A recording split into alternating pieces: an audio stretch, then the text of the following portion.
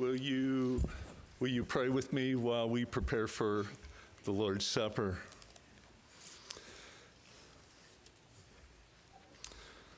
Father, I, I praise you for the day that you have given us. Lord, I pray, Father, as we spend time now remembering and proclaiming what our Savior Jesus did on the cross. Lord, I pray that you are glorified in your church here in Tempe, Arizona. May you have all the glory that is due you. We pray this in the beautiful name of our Savior Jesus. Amen.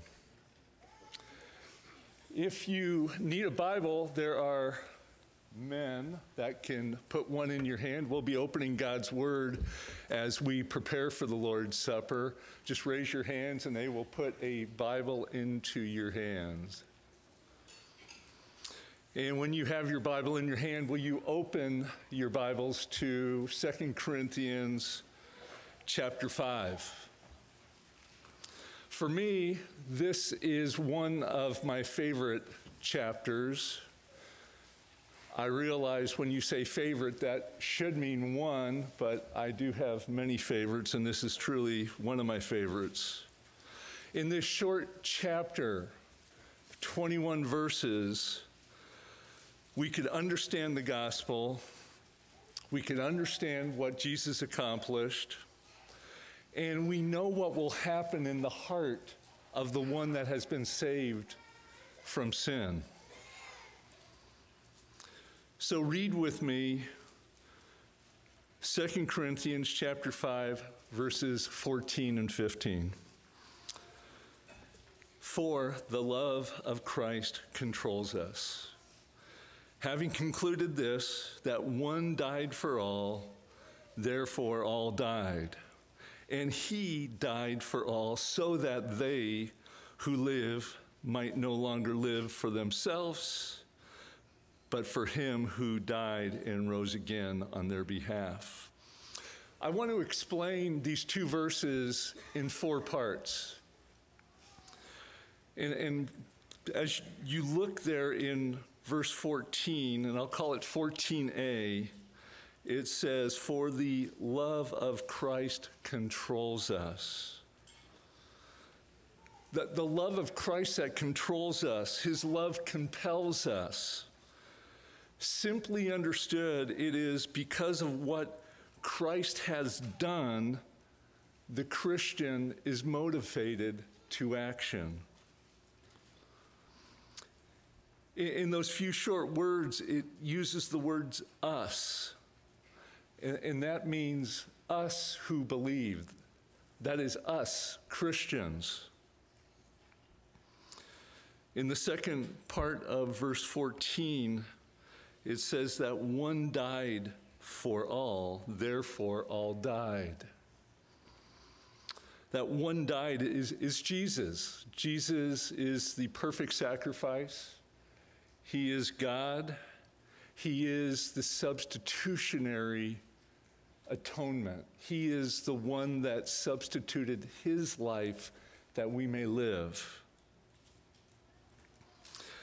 And you see that in, in verse 4 there, in that section, that one died for all, that for all needs to be understood. That for is for the benefit of,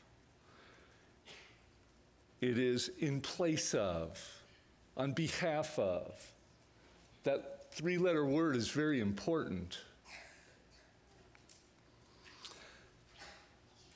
That one died for all, therefore all died.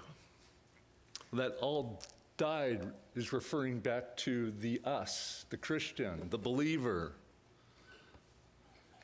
Because what Christ has done, the believer has died to sin.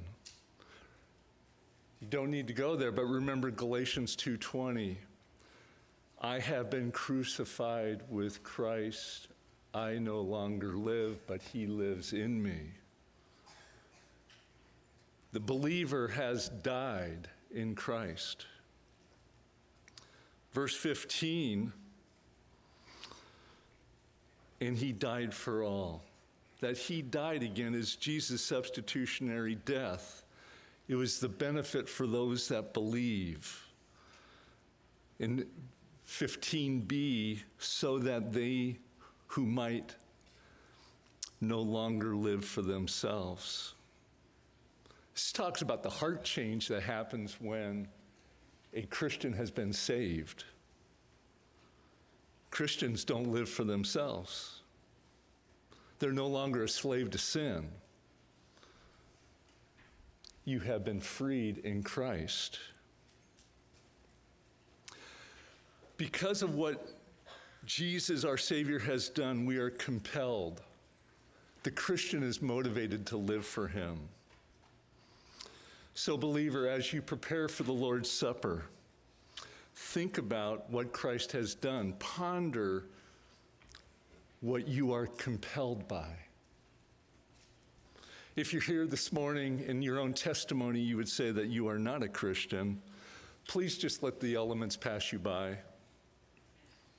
Communion is a time in the service that is for remembering and proclaiming what Jesus has done. It's a time reserved for those that believe. When you receive the elements and you're ready, take them on your own, and I will return and we'll spend some time in prayer. Men, will you please come serve us?